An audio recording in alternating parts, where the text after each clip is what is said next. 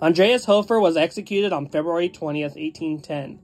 As a loyalist to the Austrian Empire and the Roman Catholic Church, Hofer led many successful campaigns against Bavarian and Italo-Franco troops who occupied Tyrol, his home country.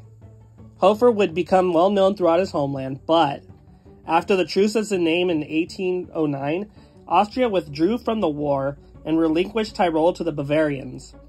This angered Hofer and demanded an uprising and defeated Bavarian troops at the Second Battle of Berg Isel near Innsbruck so badly that they left the province.